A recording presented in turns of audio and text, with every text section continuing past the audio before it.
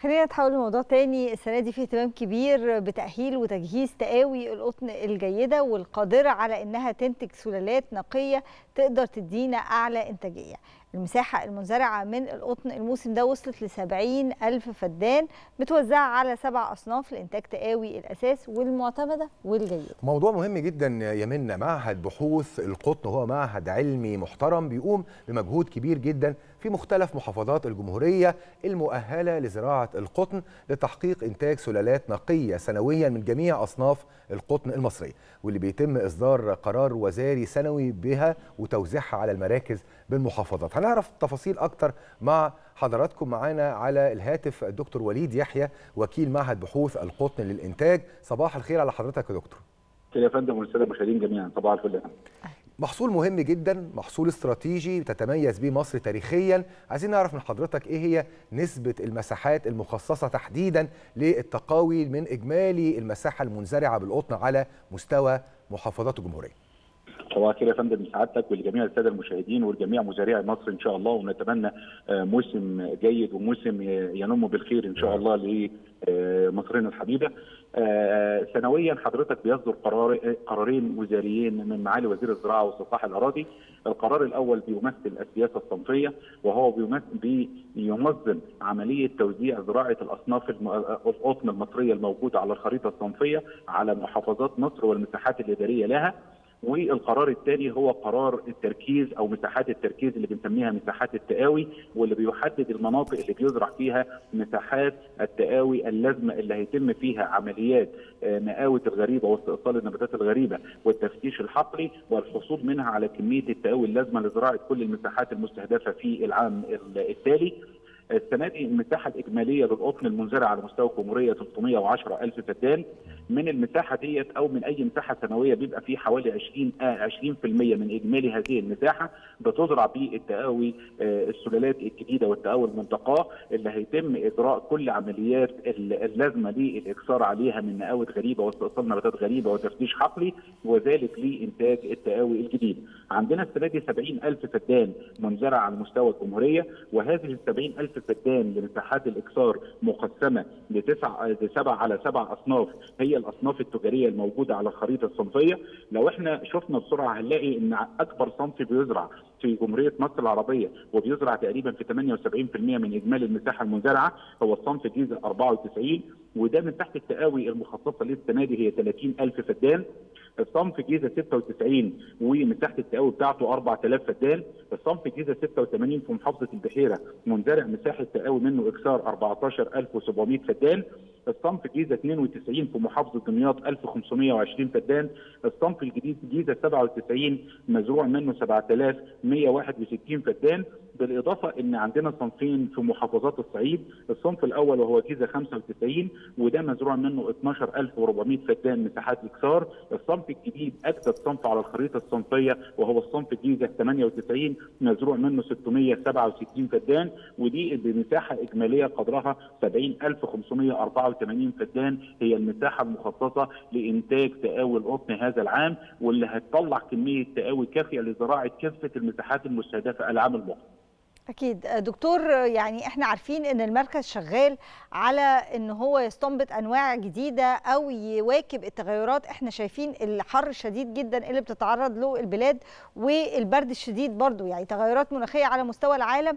إزاي المعهد قادر إن هو يواكب التطورات دي بحيث إن هو الأنواع اللي هتبقى منزرعة ما يحصلهاش أي نوع من أنواع التأثر أو الدمج؟ حضرتك يا فندم معهد بحوث القطن بوزاره الزراعة مركز البحوث الزراعية بيقوم بعمل برامج تربية برامج تهجين وانتخاب للأصناف الجديدة للقطن اللي بتساير التغيرات المناخية والقادرة على تحمل التغيرات المناخية اللي موجودة حوالينا زي الموسم الصيف ده ارتفاع درجات الحرارة واللي بيكون ارتفاع شديد في بعض المناطق واللي بيؤدي إلى أضرار خاصة بالمحاصيل. لكن لو إحنا شفنا مجهود معهد بحوث القطن هنلاقي إن اجدد صنف على الخريطة الصنفية للقطن هو الصنف جيزة 98 وده بينزرع بيزرع في محافظة سوهاج ومحافظة الوادي الجديد السنة دي. الصنف ده حضرتك أنتج في منطقة مح... منطقة محطة المطاعنه ودي منطقة موجودة في الأقصر بين أربع جبال تصل درجة الحرارة فيها لفوق ال 50 درجة مئوية. وتم استنباط هذا الصنف ليتحمل درجات حرارة تفوق ال 50 درجة مئوية. وبيدي محصول ممتاز وبيتحمل كل التغيرات البيئية اللي موجودة حوالينا. عشان كده إحنا عزلناه وزرعناه في محافظة سوهاج وهيمسك وهياخد محافظة أسيوط إن شاء الله السنة الجاية مع محافظة الوادي الجديد مع مناطق توشكا والعوينات وأي منطقة موجودة في مناطق مصر العليا. الأصناف اللي موجودة في الوجه البحري الجديدة زي سوبر جيزة 97 أصناف مبكرة الإنتاج مبكرة النضج قصيرة العمر نقدر نزرعها بأريحية كبيرة جدا بعد المحاصيل الشتوية. عندنا مشكلة مية ونقص مية. الأصناف الستة اللي خرجها معهد بحوث القطن أجدد أصناف لمعهد بحوث القطن ووزارة الزراعة من القطن المصري أصناف مبكرة النضج قصيرة العمر موفرة للمية على الأقل من 15 إلى 20% من المقنن المائي لمحصول القطن. يعني بحسبة بسيطة هنقدر نقول إنها بتوفر الصنف ده بيوفر من 400 ل 800 متر مكعب مية في عمر محصول القطن. لو إحنا ضربناها ب 300 ألف فدان هنلاقي بنوفر كمية كبيرة جدا من المية. نستطيع بيها إن إحنا نزرع محاصيل استراتيجية أخرى ونتوسع في مساحات صحراوية أخرى. يعني دكتور وليد يعني أفهم من كلام حضرتك نقطتين مهمين جدا. إن الأصناف الجديدة دي بتعمل على زيادة الإنتاجية من ناحية ومن ناحية ثانية توفير المياه وده نقطة أو دي نقطة في غاية الأهمية السياسة العامة نحو ترشيد استهلاك المياه بشكل كبير تحديدا في قطاع الزراعه. بالاضافه بالإضافة لنقطة يا فندم ثانية هي المحافظة على صفات الجودة القياسية جميل. من طول طول تيلة ومتانة ونعومة وانتظامية ألياف اللي خلقة للقطن المصري المكانة المرموقه في السوق العالمي والتي لا يضاهيها ولا يوجد معه أي صنف قطن من أي دولة ثانية في العالم. ده شيء إحنا عظيم بنطلع حاليا ده شيء بنطلع عظيم جدا. أصناف آه الله بنطلع أصناف عالية الإنتاجية. غزيرة المحصول قصيرة العمر موفرة للمية متحملة للظروف البيئية الصعبة ودرجات الحرارة العالية بالإضافة إلى إننا محافظين على صفات التيله اللي خلقه للقطن المصري المكانه المرموقه وده, وده اللي بيميز دايما القطن المصري في أسواق العالم كلها. سؤالي لحضرتك هنا دور الإرشاد الزراعي أو توجيه إخواتنا وأهلنا من المزارعين والفلاحين تقديم النصائح ليهم لاستخدام مثل هذه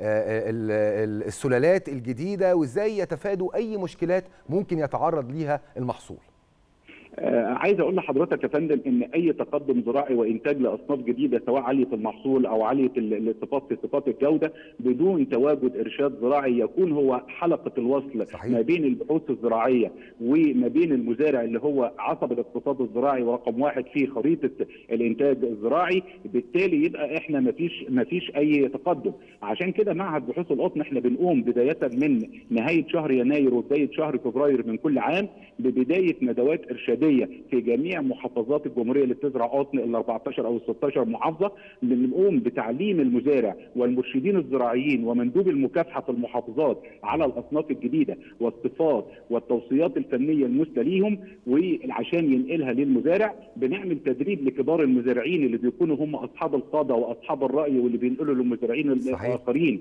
التوصيات الفنية بنعمل حقول إرشادية في جميع المحافظات والمراكز الإدارية في الجمهورية. بنعمل حاجة اسمها الحقل الإرشادي في كل جمعية زراعية وهذا الحقل بيتواجد فيه باحث الأرض يتواجد فيه المرشد الزراعي بنقوم فيه بعمل كافة التوصيات الفنية المثلى اللي بتديني الإنتاجية العالية أعلى إنتاجية من وحدة المساحة للصنف. بيتواجد المزارعين حوالينا في كل زيارة عشان يتعلموا من الحقل الإرشادي ومن باحثين القطن ومن المرشدين اللي موجودين إزاي يقدر يقوم بهذه التوصيات الفنية للوصول إلى أعلى إنتاجية من وحدة المساحة وبالتالي زيادة ربحية المزارع وزياده الإنتاج القومي. أكيد كل الشكر ليك الدكتور وليد يحيى وكيل معهد بحوث القطن للإنتاج شكرا جزيلا ليك.